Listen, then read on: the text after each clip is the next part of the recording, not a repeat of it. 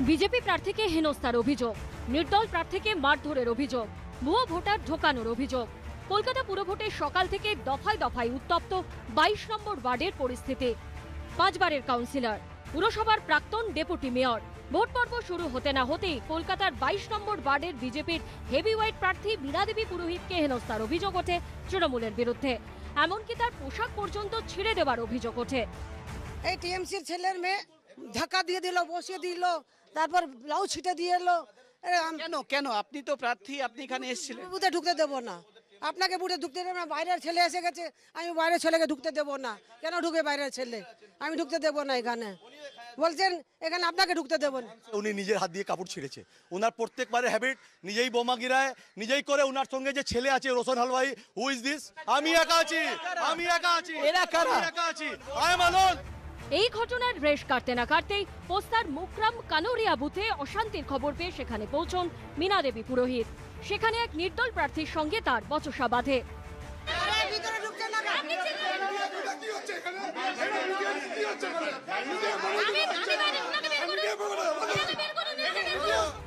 কিছুক্ষণ পরে পোস্তার মাহেশ্বরী ভবনের উনিশ নম্বর বুথে ভুয়ো ভোটারের অভিযোগ পান বীণা দেবী পুরোহিত।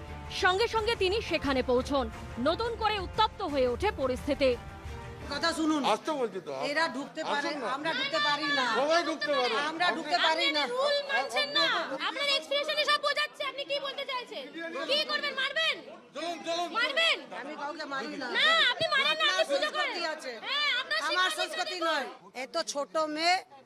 বুথে হ্যাঁ? ওখানে এরকম বদমাশি করেছেন এখানে বদমাশি করছেন এখানকার ম- মেয়ে কেউ নয় বদমাশি করছেন না। বাইরের মেয়ে আছে আপনি কেমন আর সামনে আমাকে মারতে কি রকম আসছেন? কথা বলছেন আপনারা দেখুন আপনি দেখুন। ধাক্কা ধাক্কি করেছেন আপনি ভালো করে ক্যান্ডিডেটকে মেরেছেন और जो लोग बूथ में बैठे हैं बीजेपी के भी एजेंट है पूछिए हम लोग नॉर्मली जो मशीन চেক करना हुआ है ये ম্যাডাম এসছে এসার পরে এই বিল্ডিং এ আধ ঘন্টা বসেছে লোকদেরকে ওখানে গিয়ে ইম্প্যাক্ট করছে কেন করবে ফ্রি অ্যান্ড ফেয়ার পুল দরকার ল- এটা কি আছে এদিন বিজেপি প্রার্থী মীনা দেবী পুরোহিতকে হেনস্থার অভিযোগে কলকাতা পুলিশের তরফে জানানো হয়েছে।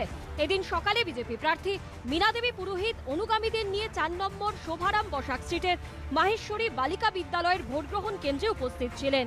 তখন তৃণমূল বিক্ষোভ দেখায়। তাকে কেন্দ্র করে ছোটখাটো গোলমাল পাকে। পুলিশ কর্মীদের হস্তক্ষেপে তা মিটে যায়। এখন পরিস্থিতি শান্ত। ঘটনার প্রেক্ষিতে কেউ আহত বা ক্ষতিগ্রস্ত হননি। ছিয়াশি নম্বর ওয়ার্ডে দুষ্কৃতীদের হাতে আক্রান্ত হন বিজেপি প্রার্থী। তাকে রাস্তায় ফেলে বেধড়ক মারধর করা হয়। তিপ্পান্ন নম্বর ওয়ার্ডে আক্রান্ত হন কংগ্রেস প্রার্থী। তার সঙ্গীর মাথা ফাটিয়ে দেওয়া হয়। প্রকাশ সিনহা, মুন্না আগরওয়াল ও হিন্দলদের report, ABP Ananda.